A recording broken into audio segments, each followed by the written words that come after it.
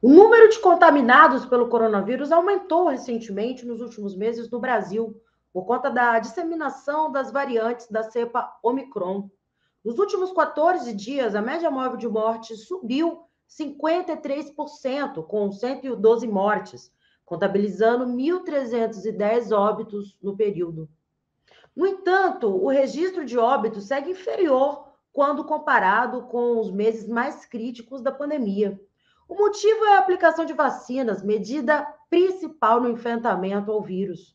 Como modelo de comparação, no dia 9 de fevereiro de 2022, quando ainda estava em expansão no país a aplicação da terceira dose, chamada de dose de reforço, ocorreu o pico de falecimentos em decorrência da doença no primeiro semestre, com 482 mortes. No dia 23 de outubro de 2022, o Brasil obteve o pico de mortes do segundo semestre, 253 óbitos. A queda é explicada pela representativa parcela que buscou a imunização. 81% da população já tomou a dose de reforço, como aponta o boletim divulgado pelo consórcio de veículos de imprensa. Apesar de o número de óbitos não retornar a índices elevados, a alta de novos casos e internações chamou a atenção de agentes de saúde que optaram por retornar com a obrigatoriedade de máscaras em espaços públicos. O uso do acessório voltou a ser obrigatório em aeroportos e aeronaves, por exemplo. No entanto, mudanças drásticas como isolamento social e fechamento de estabelecimentos não foram restabelecidas, evitando um impacto negativo na economia. Neste cenário, Alguns indicadores positivos são projetados por economistas para o Natal de 2023, o segundo após o início da aplicação da vacina. As vendas devem movimentar 65 bilhões no Brasil, segundo a Confederação Nacional do Comércio de Bens, Serviços e Turismo. Caso o resultado se concretize, será o primeiro aumento real de 1,2% no faturamento, já descontada a inflação após dois anos de quedas. Além do varejo apostar em bons resultados por conta do fim das restrições contra o coronavírus, a melhora da situação econômica é outro ponto ressaltado.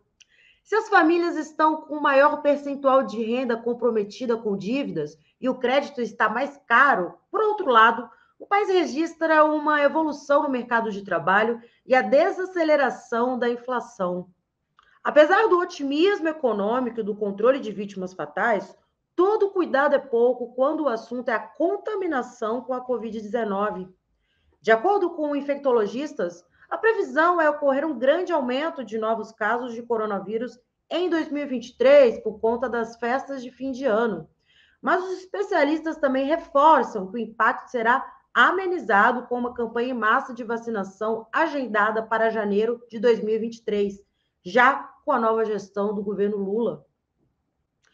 O vice-presidente diplomado Geraldo Alckmin anunciou que a prioridade da saúde será uma campanha massiva a partir do dia 2 de janeiro, com a participação de atletas e artistas, atuando na mobilização do multirão de imunização.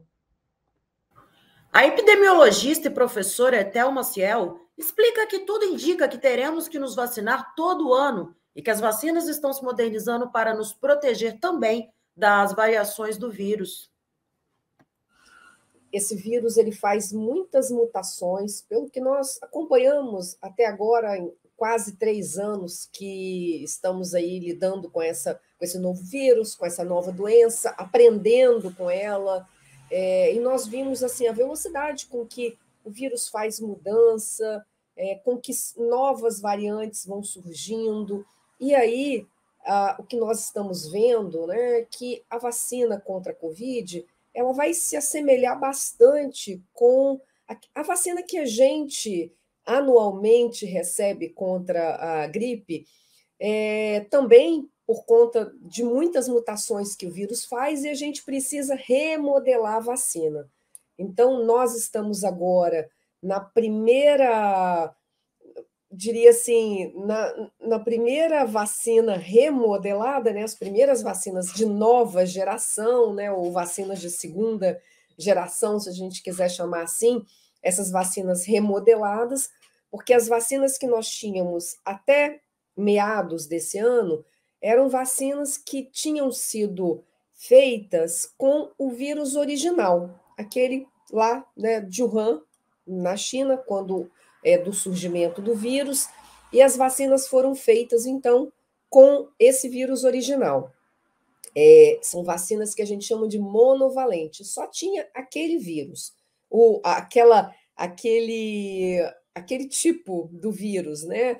É, o original. Agora, já em final de 2021 para 2022, as empresas, principalmente as empresas é, americanas, começaram a fazer uh, uma nova geração de vacina, porque nós vimos que com as mudanças que o vírus fez e aquelas que a gente chama de variantes de preocupação, né? É um conjunto de mudanças que o vírus faz que faz com que ele se diferencie do vírus original. Então, nós tivemos algumas variantes de, de, de preocupação. O vírus faz muitas mudanças, mas não necessariamente essas mudanças causam algum impacto é, no nosso organismo, por exemplo, causando mais doenças, causando doenças mais graves, né? Mas quando o vírus faz um conjunto de mudanças que tem impacto na nossa saúde, é, aí sim ele, ele tem essa denominação né, pela Organização Mundial de Saúde como variante de preocupação. Aquele conjunto de mudanças diferenciou do vírus original, criou criou-se uma nova variante e essa variante tem um impacto na nossa saúde. Então, é, as nossas vacinas que logo no início nos protegiam contra a infecção, elas diminuíam a possibilidade de a gente ter uma doença mais leve, é, elas protegiam contra a infecção e contra a doença, né, a gravidade da doença. Quando surgiu a Delta e depois a Omicron, nós tivemos um impacto grande na vacina, as vacinas continuam a nos proteger contra doenças graves, mas tem uma proteção muito limitada, muito pequena contra infecções, contra aquela doença mais leve. Então, a gente se infecta, nós temos sintomas, mas a possibilidade de desenvolver uma doença grave ela é muito menor por conta da vacina, é o que a gente está vendo, inclusive, nessas últimas ondas. Mas é, o que, que é ideal, então? Que a gente vá avaliando as variantes que estão circulando e a gente adapte a nossa vacina, a gente refaça a vacina de acordo com o vírus que está circulando, né? A variante do vírus que está circulando naquele momento. É a mesma coisa que a gente faz para vacina contra gripe. Nós fazemos isso, a gente analisa é, quais são as cepas que estão é, sendo transmitidas naquele período e a gente modela a vacina, a gente faz a vacina de acordo com aquele, aquelas cepas do vírus que estão circulando. Então, a gente aprendeu a fazer isso com a vacina contra a gripe e ao que tudo indica, nós também teremos que remodelar as nossas vacinas contra a Covid.